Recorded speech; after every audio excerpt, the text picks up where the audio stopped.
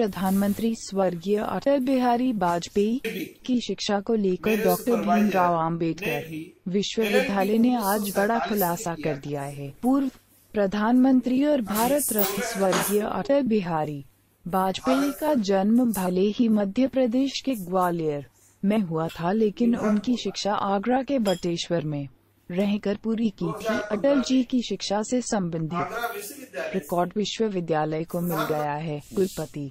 अरविंद कुमार दीक्षित ने आज इस बात का खुलासा कर दिया है कि 1945 में अटल जी अपने पिताजी कृष्ण बिहारी लाल वाजपेयी के साथ वे कानपुर के डीएवी कॉलेज में विधि की पढ़ाई कर रहे थे लेकिन कानून की पढ़ाई छोड़ एम ए राजनीति शास्त्र में उन्होंने प्रवेश लिया था। एम ए राजनीतिक शास्त्र से 1947 में उन्होंने उत्तीर्ण किया था। विश्वविद्यालय के मुताबिक दस्तावेजों में अटल जी का पूरा नाम अटल बिहारी लाल वाजपेयी लिखा हुआ है।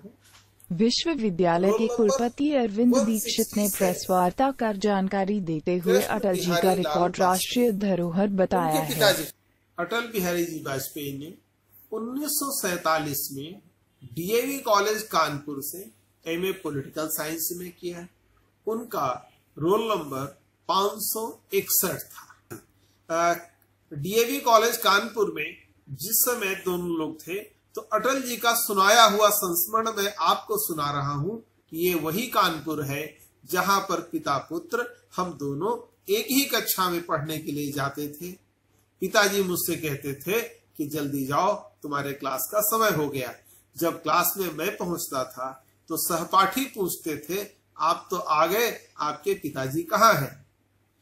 कभी पिताजी पहले पहुँचते थे, उनसे पूछा जाता था, आपका पुत्र कहाँ है? इस निमित्त कुछ अन्य कारणों से हमने एलएलबी छोड़ करके एमए पॉलिटिकल साइंस में एडमिशन लिया। उनके जो गुरु, डॉक्टर मदन मोहन जी पांडे, कानपुर में मैं उनसे भी मिलता हूँ। उनकी जानकारी से कि इनका 1947 में पिताजी एलएलबी करते हैं और Atal ji M A political science से करते हैं। ये इंफॉर्मेशन मिली। पहले दोनों एलएलबी एक साथ कर रहे थे फिर अटल जी ने एलएलबी छोड़ी। तो अटल जी ने एम ए पोलिटिकल साइंस में एडमिशन